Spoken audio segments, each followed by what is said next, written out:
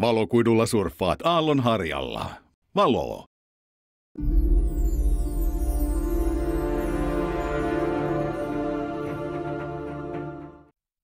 Kaksi kolmosen studiossa ollaan juhannuksen jäljiltä nopeissa. Kysytte kenties miten nopeissa, onko jopa keljuko kojotti nopeissa. Sanoisin, että vieläkin nopeimmissa. Nimittäin tänään puhutaan valokuidusta. Se on väkinäisen nopea. Heikelä, Koskelo. Mulla on himassa sellainen ongelma, että mulla on kaksi nettiä siellä. Ei siksi, että mulla olisi niin iso lukaali, vaan siksi, että mä oikein luota kumpaankaan.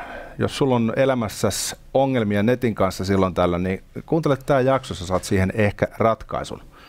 Meillä on vieraana mies, joka on puhunut internetin kanssa 80-luvun lopusta saakka. Valon toimitusjohtaja Tommi Linna, tervetuloa. Kiitos lämpimästi. Mainitaan sen verran muuten tässä nyt kaikille selvyydeksi, että tämä tehdään siis yhteistyössä tämäkin jakso ja myös tulevat jaksot teidän kanssa. Eli Valo on kanssa. Öö, nyt Tommi, eikö meillä nyt ole jo tarpeeksi nopea netti? Minkä takia pitäisi olla vielä nopeampi netti? Netin käyttö kasvaa koko ajan ja nopeuden tarve on lisääntynyt ihan hirmuisen paljon. Jos muistatte aikaa, mitkä te ensimmäiset nettiyhteydet, niin mega oli kova juttu joskus ja sitten oli 10 megane ja 100 megane ja nyt puhutaan gigaluokan nopeuksista jopa 10 gigasta. Eli se tarve kasvaa koko ajan. Ja oikeastaan valokuitu on ainoa tekniikka, joka sitä pystyy vastaamaan niihin nopeisiin liittymiin. Että tähän asti on ollut tekohengitystä, että ekaksi oli kuparia ja nyt on ollut erinäköisiä mobiiliyhteyksiä, mutta lopputulos vääjäämättä on kuitenkin se, että valokuitu on sitten se, joka, joka joka kotiin tullaan vetämään ennemmin tai myöhemmin. Mitäs toi 5G ympärillä aika paljon haippia, sit kirjoitellaan paljon. Miten se nyt suhteutuu sitten äh, valokuitukaapeliin? No yksi hyvä ystävä sanoo vähän niin kuin, että 5G on niin pakkasella kuin siis housuun. Okay. Eli hetki aikaa lämmittää, mutta sitten, sitten tarvitaan jo etsiä uutta vaihtoehtoa. Eli tosiasiahan on se, että 5G on nyt niin rullattu aika lailla peittämään koko Suomi, mutta nyt jo isot firmat, Nokia ja nämä, nämä isot teleoperaattorit tai laitevalmistajat, niin ne suunnittelee täyttä häkää 6G, ja sitten on lippulaivahankkeita Oulun yliopistossa, ja siis se on niin se seuraava G. Sitten on 7G jo piirustuspöydällä. Jos se mobiilit ratkaisisi nämä ongelmat ja parantaisi syövän ja tekisi kaikkea mahdollista, niin miksi ne sitten tarvittaisiin aina seuraava askel? Äsken oli 4G, se meni tukkoon, 5G, käyttö lisääntyy, se menee tukkoon, tulee 6G, käyttö lisääntyy, se menee tukkoon, mutta valokuudussa tätä ongelmaa ei ole. Valokuudun kapasiteetti riittää käytännössä loputtomasti. Mitäs jos sitä lähtee vertailemaan niin kuin 5G valokuidun nopeutta, kuinka paljon nopeampi se sitten on? Ää, no, teoriassa tässä on aika hyvä esimerkki. Tämä pöytä taitaa olla rapian metrin mittainen. Mm-hmm. Niin jos me ajatellaan tätä pöydän mittaa, että se on se 5G maksiminopeus, niin valokuudulla no. tämä olisi niin tästä kuuhun tai kymmenen kertaa maapallon ympäri tämä sama mittakaava. Eli niin valokuudussa se kaista ei lopu kesken kuin 5G taas sitten, sitten jossain vaiheessa. Että on, onko se ihan sama, onko se metri vai kaksi vai kolme, kun toinen on niin ihan eri mittaluokassa oleva. Okei, okay, mikä, mikä kaikki niin kuin internetissä nyt on se, mistä se lisäys tulee? Eli nyt mä voin miettiä helposti, että mä katson tätä ohjelmaa nyt tubesta ja, mm. ja tämähän toimii ihan soljuvasti. Mutta mistä se, mistä se, niinku se data tulee tähän kaikkeen? Et minkä takia me joudutaan koko ajan paitsi tehdä näitä G-numeroita lisää, mm. mutta myös niinku ylipäänsä lisää sitä dataa netissä? No, koko ajan laitteet paranee. Resoluutio esimerkiksi telkkareissa on parantunut. Ennen tuli HD, joka oli se tuhat pikseliä ja sitten nyt on 4K-telkkarit ja 8K on se seuraava, joka tulee. Ne tarvii koko ajan enemmän. Laitteiden määrä lisääntyy. Nyt on jo pesukoneita ja jääkaappeja netissä ja, ja sitten tulee erilaisia näitä lisättyä todellisuutta, AR, VR ja muuta, mikä on vielä, vielä vahvaa tulevaisuutta, mutta koko ajan kaikki vaatii enemmän kaistaa, Netflixit ja, ja tuota, muut videopalvelut. Et videota taitaa olla tällä hetkellä 80 prosenttia nettiliikenteestä ja kun siellä se resoluutio paranee, niin se vaatii heti aina eksponentiaalisesti lisää kaistaa. Että se, se, on vaan, se on niin, niin sanottu Nielsenin laki, että noin puolentoista vuoden välein se kasvaa kaksinkertaisesti karkeasti. Et voi sanoa, että kymmenen vuoden aikana, niin puhuttiin tuossa äsken, että megasta on tultu nyt jo kymmenen gigaan käytännössä niin kuin huippunopeuksissa. Et se, on, se on aika iso, se on kymmenen tuhatta kertainen se ero tässä niin meidän, mä, meidän muistamassa Mutta sä sitä mieltä siis, että tuollainen 8K-telkkari ei pyöri Mokkulan yli? No oikein hyvällä säällä ja aurinkopaista ja muita verkossa niin saattaa pyöriä, mutta kyllä jos kaikki käyttää sitä, niin ollaan ihmeessä. Että pyörii, mutta ei se kuvan laatu aika heikkoa, tulee näitä katkoksia. Se ollaan varmaan kaikki totuttu niin. Sitten kun kaikki myy vaan sitä 8K-telkkariin, niin se rupeaa olla aika niin välttämätöntä. Mutta onko tuo niin markkina toimiko se silleen, että siinä on jatkuvasti niin pullonkaula tulos vastaan ja sitten sitä kapasiteettia pitää saada taas lisää? Että onko se jatkuvaa semmoista niin omaa varjoa pakenemista? No mun mielestä mobiiliyhteyksissä näin on, näin on tilanne, mutta valokuudossa, kun se kapasiteetti riittää, siellä tarvii vaihtaa vaan sen dingelidongelit sieltä letkun päästä. Eli se kaapeli kerran kun pannaan maahan, niin siinä on sata vuotta käyttöikää. Ja kun ne vaihdetaan ne palikat siellä päästä, niin sitten se on taas niin seuraava generaatio. Se on ihan muutaman kymmenen euron juttu ja helppo, tapa, helppo tehdä se, se homma, että jolla saadaan sitä nopeutta aina kasvatettua. Sitten, että tänä päivänä puhutaan 100 gigayhteyksistä jo niin tavallaan runkoverkoissa ja jopa korkeammista yhteyksistä, nopeuksista. Joo.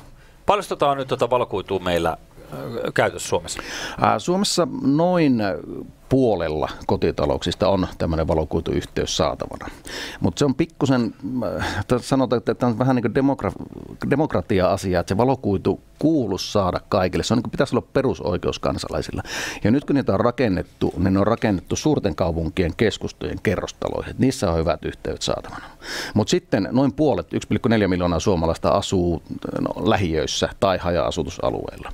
Ja tämä lähiöt on ehkä se eniten, eniten niin väliin pudonnut alue, koska koska haja-asutusalueilla on ollut tämmöisiä Euroopan tukia, jo, jo, joilla on rakennettu sitten runsaasti tämmöisiä kunnallisia kuituverkkoja, jotka on sitten tähdännyt nimenomaan näihin. Mutta sitten tosiaan nämä omakotitaloalueet, niin sillä Pauttiaralla on reilu miljoona kotitaloutta siellä, jossa asuu useita miljoonia suomalaisia, eli yli puolet väestöstä asuu siellä, niin heillä ei käytännössä ole juurikaan näitä nettiyhteyksiä ollut, ja sitä vajetta esimerkiksi me ollaan lähdetty paikkaamaan. Että meidän tavoitteena tänä vuonna 60 000 kotitalouteen viedä, mikä tarkoittaa reilusti yli 100 000 ihmistä pelkästään tänä vuonna. Joo. Ja kun koko hanke on meillä 300 000 kotitaloutta, ja tarkoittaa 500 miljoonaa euro investointia, tässä puhutaan tosi isoista rahoista. Joo. Se on vähän niin kuin yhteiskunnan kilpailukyvyn kannalta aika olennaista, että silloin kun Nokia oli voitokas, niin mm. suomalaiset alkoi ajattelemaan, että meidän infra on jotenkin maailman huippuluokkaa. Ja nyt sitten kuitenkin niin kuin me ilmeisesti pärjätään edes Ruotsille, mitä tulee nyt valo, kuitukaapelin määrään. Mikä sun näkemys on, että, että millä levelillä me niin kuin yhteiskuntana vedetään, jos katsotaan kilpailevia maita? No, tällä hetkellä, tällä hetkellä niin meillä toimii ne 5G-verkot vielä tällä hetkellä hyvin. Eli, eli se on, niin kuin, jos tämä ihan tätä hetkeä katsotaan, niin, niin me ollaan varmaan niin OK-mallissa. Mutta pikkusenkaan pitemmälle mennään, niin Suomi on oikeastaan ainoita maita, jossa on niin lähdetty uskomaan tähän mobiiliin. Kaikki muut maailmanmaat melkein on siirtyneet siihen valokuituun. Että niin Ruotti mainittuna siellä reilusti yli 90 prosenttia, Espanjat, Italiat, äh, Korea, Espanja, Portugali ja tämmöiset isot Euroopan maat, Ranskat, on jo tehnyt pitkään sitä valokuidun rakentamistyötä ja, ja siellä niin ollaan paljon paljon pitemmällä. Puhumattakaan meidän lähinaapureita tämmöisiä kehittyneitä Viro, Latvia, Liettua on paljon pitemmällä. Että, et Suomi on harva, että joka on, niin kuvittelee sillä mobiililla pääsee pitkään, mutta niin kuin äsken sanottua, 6G jo tehdään, koska 5G ei tule riittää, niin kyllä se vaan niin vääjäämättä se lopputulos on, että se valokuitu tulee joka kotiin. Onko se jotain henkilökohtaisesti sitä 5Gtä vastaan? Ei, ei tietenkään. Ei, ei, ei siis, tämä vaan niin kuin, mä oon 30 vuotta ollut tällä alalla. Mä oikeastaan aikanaan itsekin kuvittelin, että sitä valokuitua tarvitaan, että kupareita ja mobiileja voidaan käyttää, mutta jossain vaiheessa tuli se välähdys, että herran tähän, että miksi ihmeessä mä tappelisin joka kerta jotain vastaan, niin kuin mainittua pullonkaula ja odottaisin, että joku tekisi jotain. Niin mä rakensin sitten aikanaan tuota, omalla alu, asuinalueella tuolla Oulusalossa valokuituverkko, joka kattaa melkein pari tuhatta kotia tällä hetkellä. Se on laajentunut Oulusalosta Kempeleeseen ja Muhokselle ja Kiiminkiin, että siinä niin Oulun ympäristössä ollaan tehty. Ja se niin tavallaan me oltiin semmoisia pioneereja tekemään sitä juttua. Ja sitä kautta mä niin itse tulin tähän valokuitumarkkinaan ja on hitsannut ja kaivannut ja kaikkea mahdollista. Että mä niin tunnen omin käsin sen valokuituverkon niin sen puolen ja toisaalta mä oon taas ollut pitkään telealalla töissä, eli mä oon ollut operaattorin toimitusjohtajana yli 10 vuotta, niin tunnen sitten sen operaattoripuolenkin. Ja se, on, niin kuin, se on vääjäämätön, että me päädytään ja. siihen valokuituun. Okei. Äh, lehdissä on kirjoitettu jonkun verran, että piti olla ilmainen valokuitu. Mm. Totuus oli toinen, eli, eli mitä huijatteko te ihmisiä? Miksi sä sanoit, että totuus oli toinen? mun mielestä ilmainen val... Otsikko kuului niin. Otsikko. Mutta, mutta tota, mun mielestä jos valokuitu tarjotaan ilmaiseksi, niin se on ilmainen. Että siinä ei ole kahta puhetta, meillä ei ole mitään pientä bränttiä eikä epäselviä sopimusehtoja. Me tuomme valokuitukaapelin ilmaiseksi ja piste. Ainoa mitä me siinä pyydetään, että asiakas ottaa sen liittymän käyttöön ja maksaa sitten nettiyhteys. Että vähän varmaan jokaisella on itsestään selvää, että jos sulla on sähkökaapeli siellä kotona, sä maksat sitä sähköstä. Nyt me mm. tuodaan se ilmainen valokuitukaapeli mm-hmm. ja sitten maksat siitä netin käytöstä. Ja edelleen tästä tämä sama analogia, mä oon hämmästellyt, että moni on sanonut, että 5G riittää. Se voi tämän hetken tarpeeseen riittää, mutta miksi ihmeessä sä haluat odottaa, että tulee se pullonkaula sä oot jostakin toisesta toimesta, sä saat paremman yhteyden, kun sulla on mahdollisuus hankkia nyt. Se valitettavasti tuolla ystävämme Saksassa joskus 40-luvulla käytti tämmöistä lopullinen ratkaisu termiä vähän negatiivisessa sävyssä. Vähän. Mutta val- vähän. Joo, niin. Ja tietenkin hirveä asia se, mutta, mutta sitten tämä valokuitu on se, joka on se viimeinen tietoliikenneyhteys, jonka tarvitsee. Joo. Siis ymmärrän, ymmärrän, mitä sanot. Mä vaan, jos mä mietin, että itse kun mä oon pikkasen tällainen luditti, eli, eli pyrin aina, en nyt ainakaan ekana hyppää päädellä kaikkiin uusiin teknologioihin, niin entä jos mä sitten vaan niin kun pysyttäydyn, mä ostan sellaisia televisioita, missä on karkeampi resoluutio ja mä varmistan, mun, että mun kahvinkeiti mm. internetissä, ja tiedätkö, niin kuin kaikin puolin, niin pystyn mä jotenkin välttymään siltä, että mä tarviin tätä tiedonsiirtokaistaa lisää koko ajan itse. Totta kai, mutta miksi ihmeessä sä kiduttaisit itteesi? Niin? Niin. no niin. Aika kysymys. Niin. Joo. Mikä- Totta kai kaikki on mahdollista, mutta että, että yhteiskunta väkisinkin menee siihen, että tietoliikenteen merkitys kasvaa, niin sä voit pitäytyä olla jääräpää luditti sinne. Mulla on ihan se sama, mutta mä luulen, että Arto haluaa ostaa valokuudun. Joo niin, mutta Arto on voittaja. Mä ostan kaksi tota, ihan vaan varavuoksi, koska mullakin on vähän tämmöinen tota, luottamuspula teknologia. Mutta ala on ollut pikkasen villilänsi, että siellä on ollut kaikkea sellaista, tota, just asiakas ei aina tiedä, että jos siellä on pientä bränttiä, että mitä hän Joo. niinku, niinku ostaa. Oletteko te tehnyt tämän asian eteen jotain? Joo, siis mäkin myönnän heti käsi pystyy virhemerkiksi, että silloin kun me alkuvaiheessa lähdettiin kasvattamaan, tuossa puolitoista vuotta ollut tämä firman toimitusjohtaja, me tuotiin tämä ilmainen valokuituliittymä markkinoille, niin me käytettiin johtavia mainostoimistoja ja markkinointi ilmasta valokuitua, mutta meillä ei niissä mainoksissa ollut mainittuna joka kerta pienissä Facebookin mainoksissa, että, että tämä on määräaikainen sopimus, tämä vaatii määräaikaisen sopimuksen. Se on meidän virhe. Mutta se korjattiin heti, kun tästä tuli yhteydenotto ja me KKVn kanssa käytiin erittäin hyvää vuoropuhelua siinä asiassa.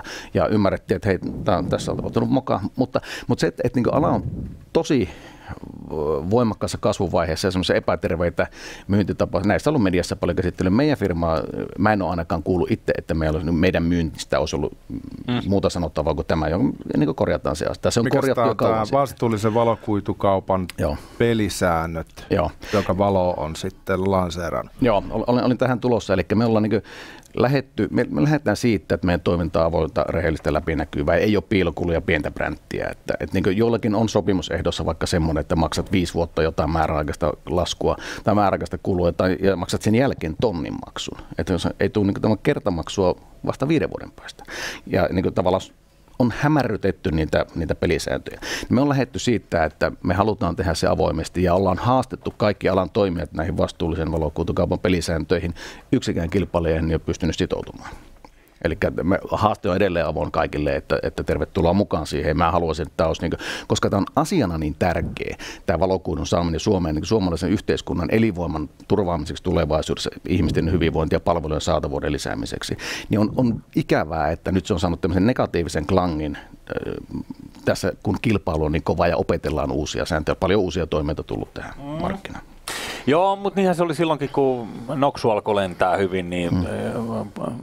Mitä Martin kylän autopuhelimet vastaa Telering, niin, niin siis tä, nä, Joo. nä, nä, se oli niin kuin aika raakaa silloinkin. Ja näin poispäin, niin ymmärtää tavallaan nuoressa markkinassa ehkä, ehkä vähän tollaisen homma Joo. tietyllä tavalla. Tota, no mut hei, öö, nyt niin mä ymmärsin, että myös tässä 5G-touhussa, Mm. niin eh, sekään teknologia ei pääse tätä valokuitua karkuun. Joo. Siis kaikki tietoliikenne pohjautuu valokuituun ja nyt sitten se 5G-tukiasemille tuodaan se valokuitu. Se, eli siihen asti se tukiasema on valokuidun piirissä ja sitten sinne mastoon, mastoon pannaan sitten ne antennit ja lähettimet, jolla sitten muodostetaan tämä viimeinen pätkä. Mutta se on oikeastaan se viimeinen pätkä on vaan sillä 5G, eli mobiili ei ole tosiasiassa kovin mobiili. Ja oikeastaan palaan ehkä vielä siihen, siihen kun äsken kysyt, onko mä 5G vastustaja, en suinkaan. Mun mielestä molempia tarvitaan. Mutta se 5G käyttötapaus on mobiilidata, liikkuva data.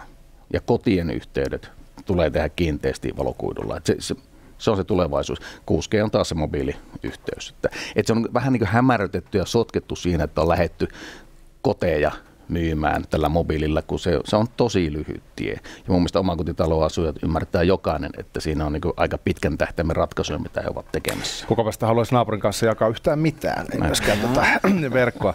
Se on pitkälti myös poliittinen päätös sitten, että mihin lähdetään satsaamaan hmm. yhteiskunnan tasolla. Kaksiosainen kysymys, kuinka paljon se nyt maksaisi sitten, äh, jos Suomessa vedettäisiin kuitukaapelin piiriin koko väestö, Hmm? Ja sitten toinen kysymys on se, että, että meillähän on tässä tämä uusi hallitus just tullut, niin onko sieltä jotain positiivisia signaaleja sun mielestä nähtävillä? Ää, Suomessa tämä valokuidun investointivelka on arvioitu olevan 2-3 miljardia euroa ja me ollaan nyt kattamassa 500 miljoonaa siitä. Eli tuota, tuommoisessa kokoluokassa puhutaan, jotta Suomessa oltaisiin niin kuin, luultavasti ihan jokaista viimeistä mökkiä ei kannata, niin saattaa maksaa kymmeniä tai satoja tuhansia ihan jokaisen suomalaisen saaminen valokuidun piiriin yksittäisenä liittymänä.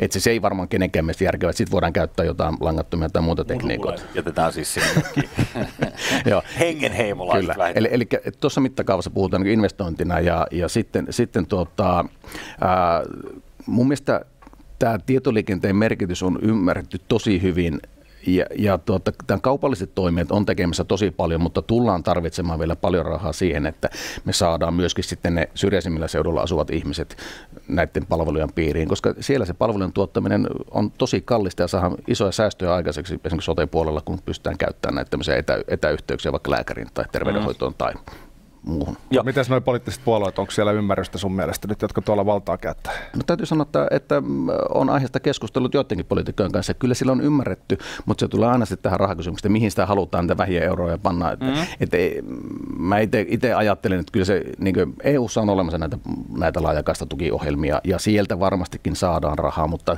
et, esimerkiksi niin kuin, puhutaan, vaikka Amerikassa puhutaan kymmenien miljardien tuesta valtiolta valokuituverkkojen rakentamista ja Suomessa puhutaan kymmenistä miljoonista tai joskus pelkästään miljoonista eurosta. Mittakaavat on kovin erilaisia, että ehkä kyllä siihen saisi niin enemmän pistää paukkuja, koska se, se tuottaa loppuviimeksi Suomen hyvinvointia sitä kautta, että esimerkiksi niin on tutkittu, että tämmöinen laajakasta hyvä valokuituyhteys pystyy parantamaan tuottavuutta lähes prosentin. Ja se on hirveä määrä, jos ajatellaan PKT-tasolla, joka taitaa olla 150 Joo. miljardia, jos oikein muistan, niin se on puolitoista miljardia pelkästään vuodessa sillä, että meillä olisi hyvät yhteydet. Plus sitten kulusäästö toisaalta. toisaalta Mutta miksi, pitää, miksi valon pitää mennä piuhassa siis lähinnä? Että tuleeko siihen niin paljon sit niinku erosiota siihen valosignaaliin, jos fikkarimallisesti partsilta toiselle tiedätkö, tota, valo, koska valohan tietysti kulkee ilmassa, vedessä, Joo, monessa eri matskussa. Tämmöisen valokuitukaapelissa pystytään kerralla kuljettamaan yli 100 kilometriä sitä valoa ennen kuin sitä tarvii vahvistaa, vaikka merenpohjakaapeleissa ja tämmöisissä.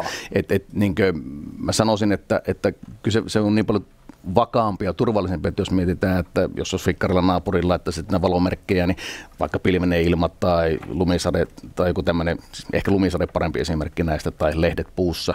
Mitä se Elon Muskin nämä satelliittiparvet tuolla? Ne on hyviä täyttää näitä syrjäseutuja, mutta siinä tulee niin pitkiä viiveitä, että se, se kestää kauhean kauan. Ja siellä, siellä taas jaetaan sitä samaa kaistaa. Että, että se on tiettyihin käyttötarkoituksiin hyvä, mutta ei se tämän kotien ratkaisuksi tuommoisesta ole millään. Joo. Eli se on niin kuin, piuhan sisällä kulkeva info on niin suojattu ja häiriötä kuin mahdollista ja siinä se syy, että se koska mä uskon niin vakaasti siihen, että jatkossa mitä ikinä internetille tapahtuu, niin vesi menee todennäköisesti putkissa, mm. viemärit toimii samalla formaatilla kuin ennenkin, sähkö todennäköisesti liikkuu niin ikään niin kuin piuhoja pitkin. Mm. Niin onko tämä nyt sitten niin kuin mielestäsi yhtä vahva totuus, että sadan vuoden kuluttua vielä informaatio kulkee piuhassa sisällä valona? Ihan saletti. Et, et, niin kuin, tavallaan se, mikä voisi, niin tuo sähkö on hyvä esimerkki, että entisaikaan, kun rakennettiin sähköverkkoja maaseudulle tai puhelinverkkoja, niin kyllä tuva isännät oli siihen mielessä, että on minä ennenkin ollut kaasuvalo vai onko ollut öljylamppu vai kynttilä, jolla sitä tupaa valaistu. Ja, se, ja silloin tuotiin valoa silloinkin sähköä rakennettiin. Se oli maailman valon tuomista. Ja, ja tuota, jokainen voi tänä päivänä ajatella, että olisiko silloin kannattanut ottaa sähkö, sähköliittymä itselleen ja ottaa sähkö, sähköistää koti.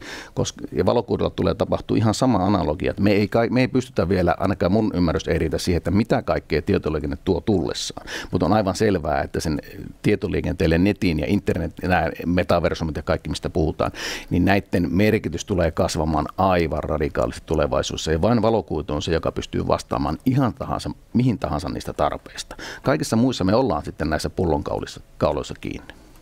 Ja jos puhutaan sitten prosessista, itse tota, mielellään ö, otan juttuja ilman, että on hirveästi häsläystä. Mm. Jos joku nyt on kiinnostunut ja haluaa valolta ostaa ö, valokuitukaapeli, niin miten se käytännössä tapahtuu se prosessi? Valokuituverkon rakentaminen. Niin, että sen saa himaasti sitten toimia. Joo. Eli, eli alueellisesti meillä on myyntikampanjoita käynnissä, ja kun sieltä saadaan tietty penetraatio, eli tietty määrä ihmisiä tilaamaan, se ei kauhean hirveän, ehkä noin viidesosa, neljäsosa, riippuen pikkusen alueesta, niin, niin saadaan sitoutumaan siihen tilaukseen, niin sen jälkeen tehdään rakentamispäätös ja aletaan tehdään tämmöinen suunnittelu, että miten se verkko rakennetaan, jonka pohjalta syntyy sitten kaupungille lupaprosessi, eli me haetaan kaupungilta lupaa sen kaapelin asentamiseen ja me pyritään rakentamaan sitä verkkoa, mä palaan tuohon kohta. Eli sitten kun on saatu sen lupaa, niin sitten tulee kaivinkoneet paikalle ja asennetaan semmoinen mikroputki maahan. Se mikroputki on kätevä sen takia, että jos jälkikäteen tarvii tehdä laajennuksia, se on se putki, jossa on paljon pieniä putkia sisällä, jonne sitten semmoisella laitteella puhalletaan se valokuitu. Ja se niin kuin tavallaan pienellä työllä ja pienellä vaivalla saadaan sitten tehtyä. Kun se puhalletaan se kuitu sitten, sitten sinne kaapeliin ja tehdään tarvittavat kytkennät, niin sen jälkeen tullaan viemään vielä kodos, kodissa käymään ja porataan seinään reikä ja tuodaan se kuitu sisälle. That's it. Se on hyvin siistiä ja simppeli asia. Eli esimerkiksi kotien tai pihoilla monilla voi olla hienoja kukkaistutuksia tai kivetyksiä, niin se pystytään tekemään tosi pienellä haitalla. Sinne ei tule iso kaivinkone jylläämään, vaan se on sellainen, sellainen pieni porakone, että onko vähän niin kuin veitsi leikkaisi maata. Ja melkein kengänkäreillä kun painaa, niin se jälki on pois. Sitä ei niin kuin seuraavana päivänä välttis näkään enää, että siellä on käyty tuomassa se. Okei, okay. plastikkakirurgista hommaa. Melko lailla. Ja me, meidän pyrkimys, toimii oli palaamassa, on se, että me haluttaisiin toivottaisiin, että myöskin kaupunkien päättäjät ymmärtäisivät sen, että on olemassa uudenaikaisia rakentamistekniikoita, joissa voidaan tehdä tällainen veitsiviilto maahan, jolloin, jolloin ei tarvitse kaivaa sitä koko kadunvartta auki ja särkeä asfalttia ja koiran käyttäjät. Sehän on kivaa. Toiset tykkää, mutta toi kannattaa ajatella biodiversiteetin säilymistä ja, ja niin tehokkuutta, jolla me saadaan sitten niin huomattavan paljon pienemmillä ekologisilla tai sanotaan ympäristöhaitoilla tehtyä sitä rakennusta. Maan kaivaminen on aina työlästä ja nyt tässä voitaisiin tehdä sillä samalla viilolla. Että, et, ja sitä me on paljon käytettykin, että aika moni kaupunki on hyväksynyt, mutta vielä on osa kaupungista, niin siis, Suomi pitäisi saada siis varmaan valokuudun lisäksi niin, niin siis sähkökaapelit Joo. Koska se, että se on mikä tahansa syysmyrsky, talvimyrsky, kevätmyrsky, mikä myrsky, mm. niin aina on 30 000 taloutta jossa ilman sähköä, kun ne menee Joo. siellä, kun meillä on puita aika monta, Joo. ja sitten ne kaatuu linjoille, niin siis tuo kaapelointi niin ylipäänsä olisi aika kova juttu. Kyllä, ja tätähän tehdään paljon tätä työtä, että sähköyhtiöllä on tämä lakikin, että niitä, Joo. Että pannaan maahan, maahan ympäri Suomea sitten paljon. Ettei jengin pakastimet sula ja Näin. siellä menee taas karhupaistit ja muut arvokkaat vakuutusyhtiöille korvattavaksi. Joo, se on aina täynnä riistaa se, jostain syystä se pakastin. se on totta, se on totta mutta et siinä mielessä tämä niin kun, ä, asioiden maahan kaiva, kaivaminen niin, hmm. niin, niin tota, olisi suotavaa niin kuin isommaskin mittakaavassa. Se on, kerran kun se tehdään, niin se on sitten siellä on ja pysyy sata vuotta. Et se on niin se tulevaisuus turvattu se, Joo. se ratkaisu. No niin, mutta okei, meillä on 30 sekkaa aikaa, nopeasti vaan loppuun. Te tarjoatte paitsi sen itse valokuidun myös sitten... Nettiyhteys myös siihen päälle. Eli niin. Asentaminen ei maksa mitään ja sitten tiedonsiirrosta tulee kyllä, se Kyllä, tutkitusti ollaan valtakunnan edullisin toimet. Kauppalehti on tehnyt näistä esimerkiksi tutkimuksia ja ollaan se halvin vaihtoehto. No niin. Ja hei, ja myöskin paras, laadukka. No tietenkin. Ja me ollaan kanssa aika hyviä Arton kanssa ja se on hienoa, että olette, olette meidän matkassa nyt. Meillähän, mä en tiedä, oletko miten paljon katsonut, mutta meillähän on sellainen piuha, joka on aiheuttanut paitsi hämmennystä myös myötä Vika ei ole koskaan miehissä, mutta suur kiitos Valon toimitusjohtaja Tommi Linna. Koska, koska kuningas on kuollut, kauan eläköön kuningas. Valokuidulla surffaat aallon harjalla. Valo.